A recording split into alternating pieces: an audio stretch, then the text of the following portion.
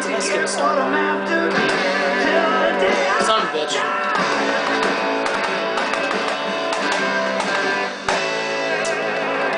Well, I skipped the star power, but who gives a shit?